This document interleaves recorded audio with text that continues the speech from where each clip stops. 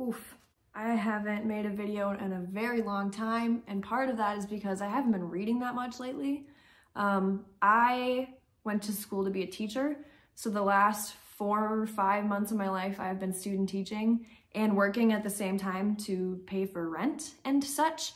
So I've been just the busiest I've ever been in my life and um, exhausted. And I finally graduated, so I'm done student teaching and I have time to read for fun again. And I actually start a job on this coming Monday. Um, I got a job as a teacher already. I'm super excited. I didn't I didn't read as much this year as I really as I did last year or as I was hoping to. Just because I've been way too busy. Since my last video, I have read a few things. A couple really bad ones and a couple really, really good ones. So um, my last video was, oh God, in like June, and I had been reading the book um, Strike Me Down by Mindy Mejia, I think is how you say it. Um, this is one of the only books I've ever given one star to. It was so bad. I do not recommend it. I actually was at Barnes & Noble yesterday and I saw it at Barnes & Noble and I was like, why is this even in the store? It was so bad. After that, I read a book called 14 Ways to Die by Vincent Ralph, which is a young adult mystery thriller. So good. I loved this book so much. I read it in one sitting. It's a really quick read because it is young adult and I flew through it. It was, um, was it realistic? No, but it's young adult. So I tried to kind of put that to the side a little bit as to like, could this happen in real life? But holy smokes, really good if you're looking for a quick mystery. Um, my new job that I'm starting on Monday is teaching eighth graders. So I kind of like to be in the know of what the kids are reading these days so I can connect with them. My student teaching, I student taught seventh grade, and this book is what everyone is reading right now, like all the like the 12, 13, 14 year olds. Um, so I borrowed this from the English teacher at that school. I'm gonna read it, see what all the fuss is about. Um, but yeah, I do like to read young adult, especially since I will be teaching middle school, so I can like connect with the kids on another level. Even though I teach, I teach science. I'm not, I don't teach English, but I love reading, obviously. After 14 Ways to Die, I read The Only Good Indians by Stephen Graham Jones.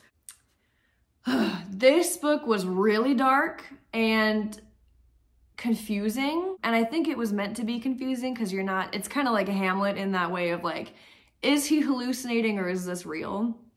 Basically, it's about these four friends and they, I think it was four, it's been a while since I read it, but um, they are being haunted by some sort of entity that is very powerful and it's killing them off one by one.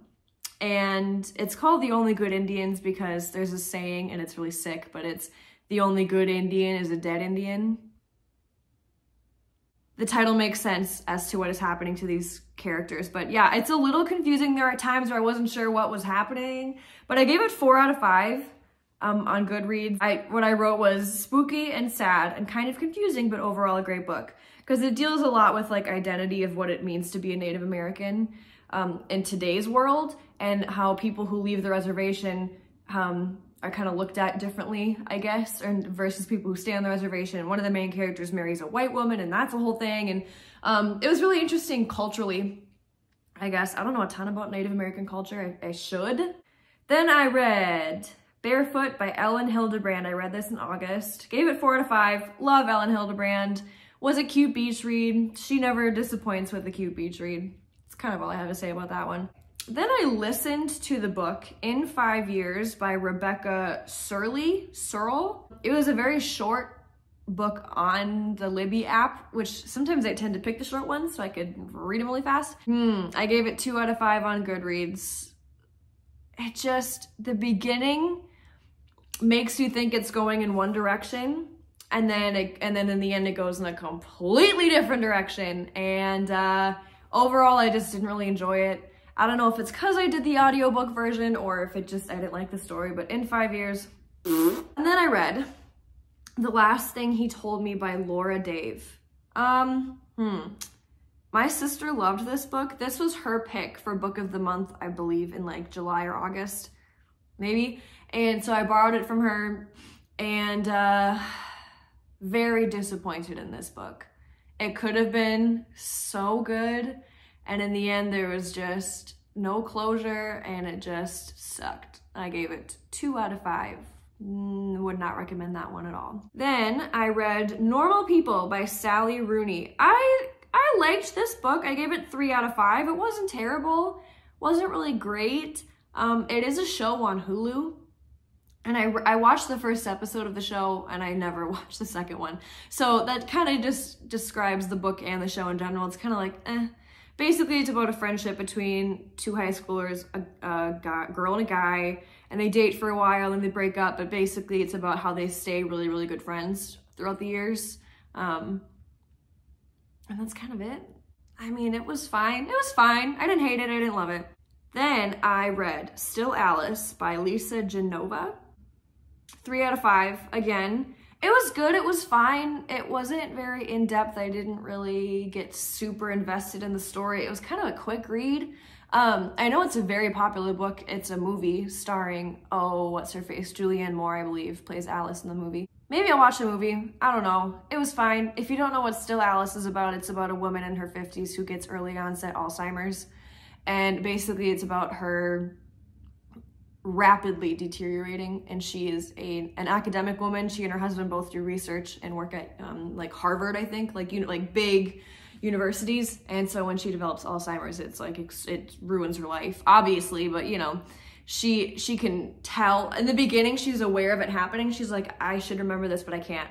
And then the farther you get into the book it's more like she's completely out of it and lost. So it's really sad. And it was fine i liked it. I would maybe recommend it. I don't know. So i was a student teacher um, in a middle school where we had like teams. So it's like the math teacher science teacher me geography teacher and english teacher were all in like the same pod.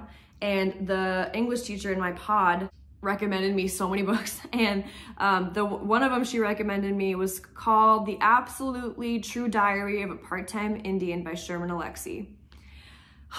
I have a lot of feelings about this book. She said, so this English teacher has been a teacher for a long time, and she said this book used to be part of a curriculum when she worked at a different school.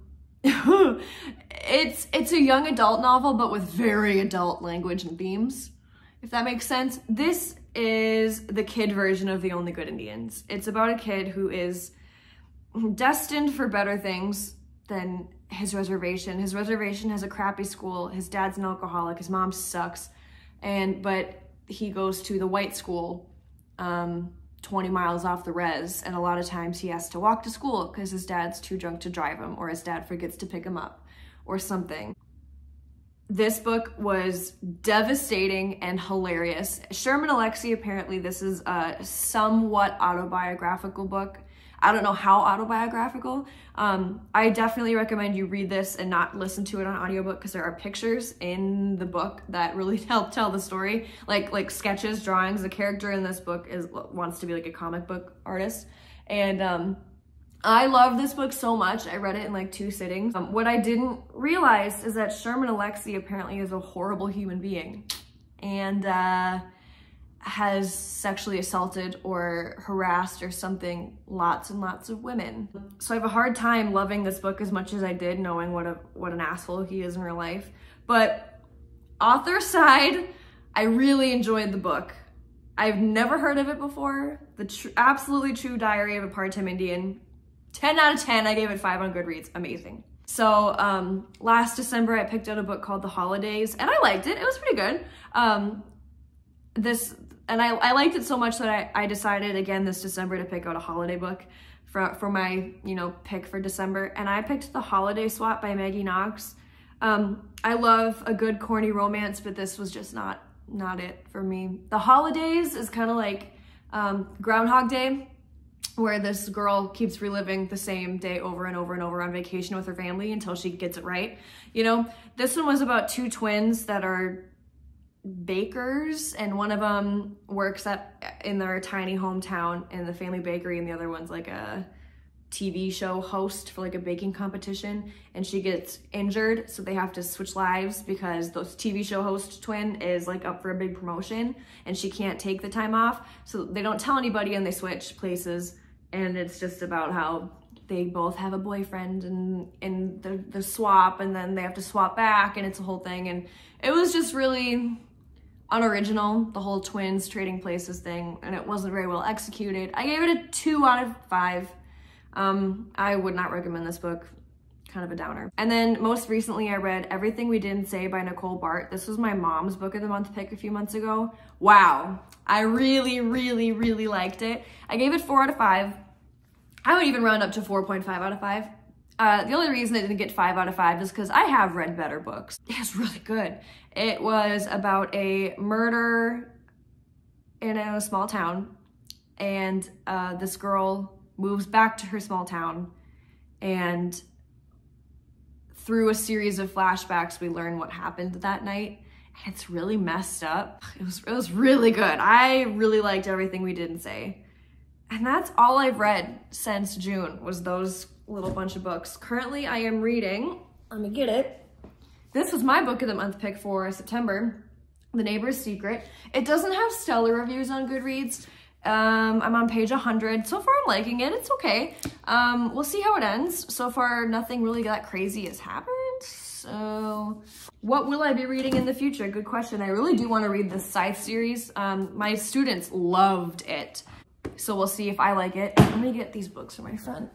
One of my best friends in the whole world, Megan, hey girl, um, she loves to read too. We both love, love, love reading. She has like a whole library in her house and stuff. But uh, she's into a very different type of books that I am. So we don't overlap genres very much. She's super into like fantasy. I'm not, I've, I've never really read fantasy. And it's not because I don't like it. I just haven't really tried it.